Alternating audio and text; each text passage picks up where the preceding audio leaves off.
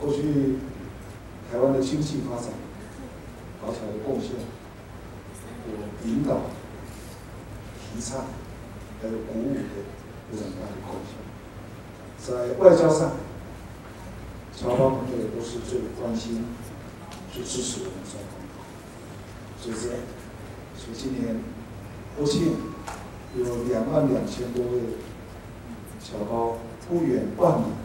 从全球。六大洲回到台湾。这就是政府内心非常非常肯定且非常感谢的又一个事实。政府了解到华侨不只是革命之母，而且在海外的华侨是爱护中华民国、关心台湾，一路走来始终如一。而今天我们看到陆贤宏朱大姐，嗯，帮助我们政府来服务、鼓励我们侨界年轻的这个子弟，可以说为侨界未来新一代的这个人才跟领袖，能够让他们到台湾来实地了解，并且融入可能国内的这个社会跟学校，更加深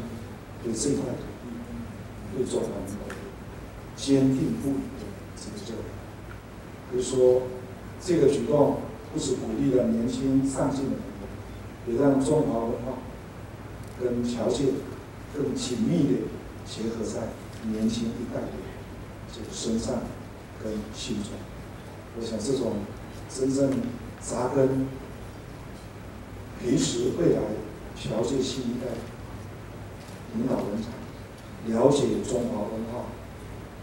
了解中华民国，了解台湾，都非常具有重大的意义。所以特别来向两位致敬，也向我们所有观礼的好朋友，尤其是一百位受奖的侨生，我们特别给你们最大的鼓舞。